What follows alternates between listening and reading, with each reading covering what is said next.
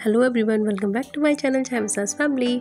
तो आज मैं शेयर कर रही हूँ आपके साथ दुर्गा मेकअप लुक और यहाँ स्टार्ट किया है मैंने निविया मॉइस्चराइज़र से, उसके बाद मैं लगाऊँगी यहाँ पे प्राइमर जो कि है ब्लू हेवन का और जो साइड में आप रील्स देख रहे हैं तो मैं अपने हेयर स्ट्रेट कर रही थी। यहाँ पे मैं पूरा आपको मेकअप जो करके दिखाऊँगी वो है ऑलिविया पेन स्टिक से। तो मैं सबसे पहले स्टार्ट करूँगी आई मेकअप से। उसके बाद हम आई मेकअप पे ऑलिव पेन स्टिक लगाएँगे। उसके बाद मैं लगाऊँगी यहाँ पे लूज़ पाउडर जो कि लैक्मे का है।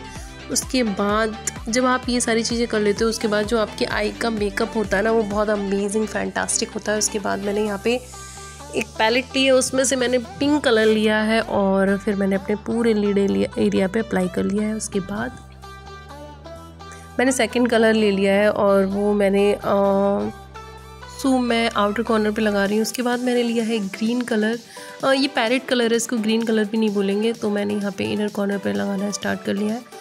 मैं आज कलरफुल बनना चाहती हूँ फिर मैंने ग्रीन कलर लिया डार्क ग्रीन कलर फिर मैंने वो आउटर कॉर्नर पे लगाया उसके बाद मैंने लिया है ब्लैक कलर फिर मैंने वो अप्लाई कर लिया, जैसे कि आप देख सकते हो, फिर मैं लगाऊँगी लाइनर और ये ब्लू हेवन का लाइनर मेरा फेवरेट है, जैसे कि आप देख सकते हो, फिर मैंने यहाँ पे अप्लाई किया लाइनर फिर मैं अपनी फिल करूँगी ब्रोज सो ब्रोज फिल करना एक इम्पोर्टेंट पार्ट होता है आपकी मेकअप में, अगर आपकी ब्रोज फिल नहीं है तो आपका मेकअप किसी काम का नहीं है तो ब्रोज डेफिनेटली फिल करना ही है।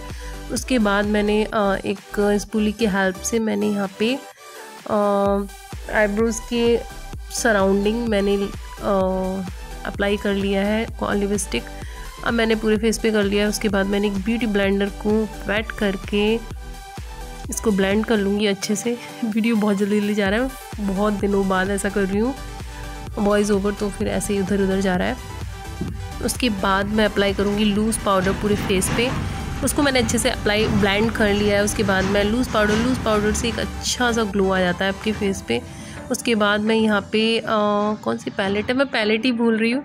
तो मैंने यहाँ पे कंटूरिंग कर लिया है अपने फेस को कंटूर कर लिया है रेवोल्यूशन की पैलेट से।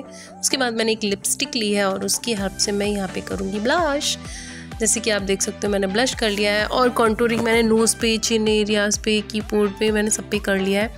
उसके बाद मैंने लिया है यहाँ पे, जैसे कि आप देख सकते हो मैंने यहाँ पे लिया है हाइलाइटर और ये हाइलाइटर है आई थिंक कभी मैंने दिखाया था आपको? माय oh गॉड तो मैंने यहाँ पे हाइलाइटर अप्लाई कर लिया है स्विस अब मैं यहाँ अप्लाई करूँगी काजल। यहाँ पे फिर मैंने माई ग्लैम की लिपस्टिक ली है। और मैं अच्छे से लिपस्टिक अप्लाई कर लूँगी। वाह पोज भी दे दिया मैंने लिपस्टिक के साथ। सो अभी मैं यहाँ पे अपने हेयर को स्ट्रेट करूँगी। मेरा मेकअप हो चुका है डन डन डन डन अब हम स्ट्रेट हेयर करेंगे। और मैं, मैंने पहले से ऑलरेडी कर रखे थे, लेकिन मैंने सोचा मैं आपको भी थोड़ा सा दिखा दूँ। मैं किस तरीके से करती हूँ। तो मैं यहाँ पे कंफ्यूज हूँ कि मैं कौन सा झुमका पहनूँ। तो मैं यहाँ, मैंने यहाँ पे ज्वेलरी डालना स्टार्ट कर दिया है। और जैसे कि आप देख सकते हो, मैंने ये लहंगा टाइप का कुछ पहन रखा है, जो कि होम मेड है। मैंने खुद ने बनाया और मैंने यहाँ पे सिल्वर की चूड़ियाँ पहन रखी हैं। सिल्वर सिल्वर ज्वेलरी पहनूँगी क्योंकि गरबा मेकअप लुक है तो ऑफकोर्स मैं यही पहनने वाली हूँ। और सॉरी इन सब गलतियों के लिए क्योंकि एक्चुअली ये बहुत दिन बाद मेकअप वीडियो में प्रॉपर आपके साथ शेयर कर रही हूँ। तो प्लीज़ माइंड मत करना। अब मैंने ज्वेलरी पहनना स्टार्ट कर दिया है। अब मैं भूल गई थी नेल पेंट लगाना तो फिर मैंने कहा चलो नेल पेंट भी लगा लेते हैं। एक्चुअली स्टार्ट करते हैं तो मैंने यहाँ पे अपने ब्लाउज़ के कलर की नेल पेंट लगा ली है। और अब मैं पहनूँगी रिंग जैसे कि आप देख सकते हो। And I have done with my makeup अगर वीडियो अच्छा लगे तो लाइक कमेंट शेयर सब्सक्राइब कर देना। Bye bye